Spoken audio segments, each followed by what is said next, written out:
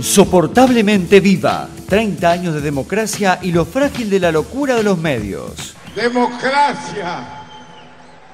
La democracia no es solo una palabra. La democracia es la vida. Si muere la democracia, estamos muertos también.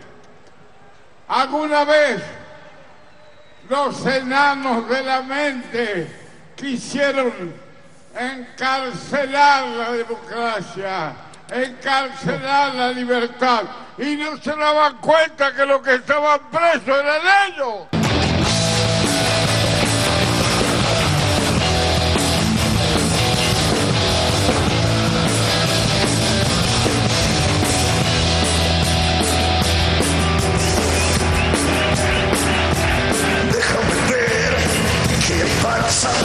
esa vuelta. La carta no está siempre a tu alcance en la clarinilla.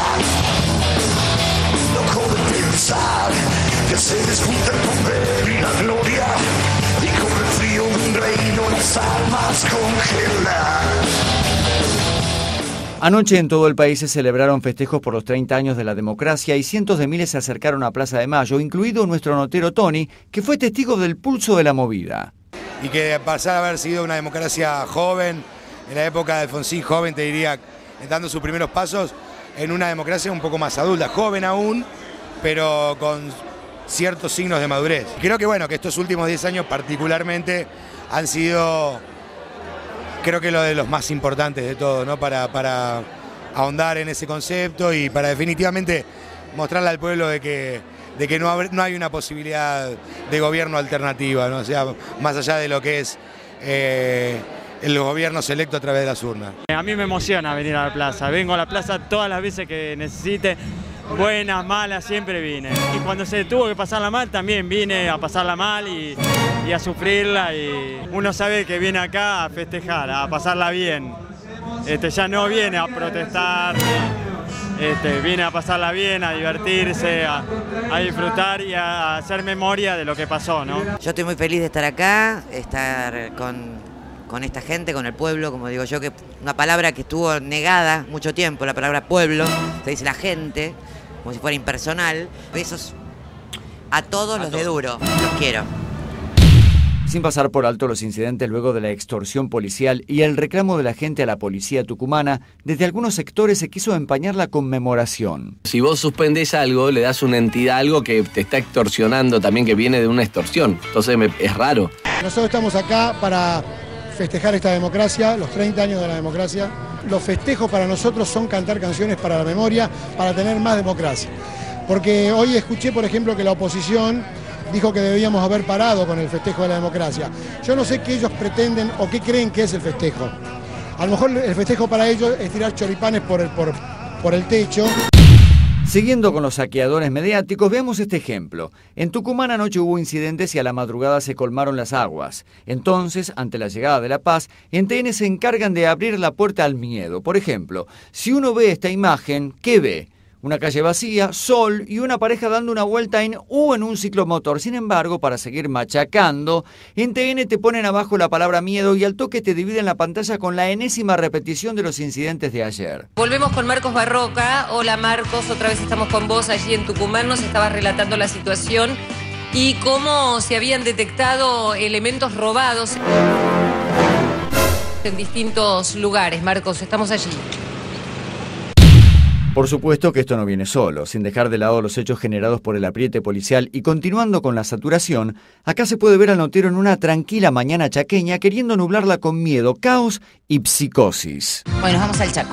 Está en vivo Gustavo Tubio. Gustavo, eh, estás en la zona donde hubo saqueos, ahora hay policías. ¿Y qué otro panorama ves? Guillermo Florencia, eh, el panorama que veo es el miedo que le ha dejado esta gente, este, y no es para menos, han vivido horas realmente dramáticas y ha quedado el miedo porque ahora, mm, si bien la policía está patrullando, si bien la gendarmería está patrullando, esta gente quedó con miedo, ¿no? fue caótico el, caos, la psicosis, si querés, entendible, lógica de la gente, y va a pasar bastante tiempo hasta que este miedo desaparezca y la gente, por supuesto, seguirá trabajando con este miedo.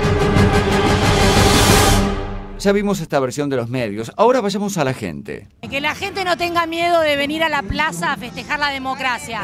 Que tenga miedo de los que organizaron los saqueos. Esto no fue casual. No es casual que toda la policía se haya revelado pidiendo aumento en diciembre y en esta época. No es casual. Un saludo para la democracia. ¿Por qué vienen hoy? Ah, vinimos acá a reafirmar los valores de la democracia porque creemos que el pueblo tiene que decidir, porque no creemos en la, en la golpe destituyente que están haciendo ahora. Y bueno, para reafirmar y que no hay miedo, hay una creación de un caos social que nos parece que tenemos que construir. Debemos pedirle a cada vez más a los argentinos que se animen, que en realidad cada vez que, que ellos ofrezcan esa lucha y defiendan esta democracia, esta democracia indefectiblemente crecerá y será más sana y fuerte. Un momento intenso de la noche fue sin dudas el show de la renga, pero antes presten atención a una cosa. Escuchen una parte de la canción El final es en donde partí. ver que hay para saborear esa vuelta.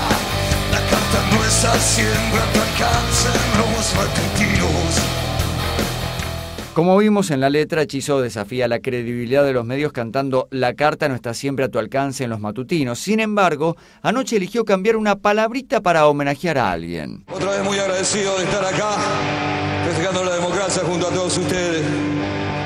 Eternamente hay que festejar esto. Déjame ver que para saborear esa vuelta. La carta no está siempre a tu alcance en la clarimisa. La carta no está siempre a tu alcance en la clarimisa. La carta no está siempre a tu alcance en los matutinos. Clarimisa. En la vereda de enfrente de Hechizo, de Brito se puso la camiseta y se salió con una disparatadísima teoría para manchar los festejos. No lo consiguió. Moria fue un acto de los 30 años de la democracia en una casa que es la casa de gobierno, que no es la casa del PJ ni de la UCR, es la casa de todos. O sea, fue un acto por los 30 años de la democracia. Sorprende la aparición de Moria en este contexto. No, ¿Vos pensás que tiene y- miedo Moria de ser extraditada? ¿Que va por eso? No vinimos juntas, nos invitaron a las dos y... Sí, bueno, y vinimos. Ahí viene, ahí viene y me quiero ir. Eh, para mí eh, está buenísimo. Yo siempre quiero tener al lado a toda mi familia, así que mientras mejor esté todo, todo mejor. Estábamos haciendo tiempo para saludarla. ¿Qué se siente venir con tu hija a este festejo de la- Divino, todo a favor, todo muy bien, armonía, demostrar que no hay ninguna fisura. Yo, como lo dije arriba del escenario, con todos lo- los muchachos acá estamos muy orgullosos de participar esta celebración de los 30 años. La democracia es muy importante para los pueblos. Yo creo que estamos en un punto que estamos creciendo y de lucha sobre todo, ¿no? A partir de... No quiero ser partidario, ¿no? Pero a partir de un momento a esta fecha, los, los últimos gobiernos, digamos, eh, han acercado mucho a la juventud y, se notó como un resurgimiento popular y que es muy importante para, para la Argentina.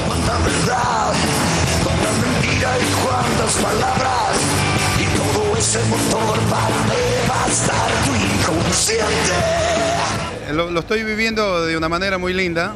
Estamos todos, estamos todos, sí. Estamos todos realmente. locura, esta ironía con que se cura. Si el final es en donde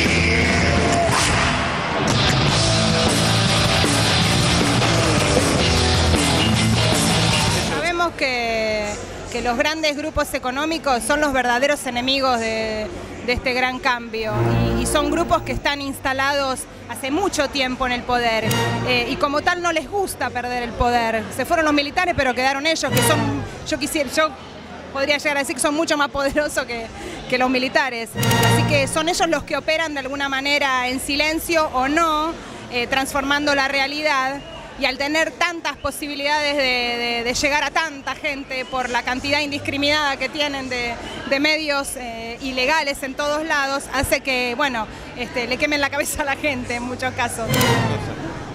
Chao, un beso al, para mí, el primer mejor panel del mundo. ¡Durísimo!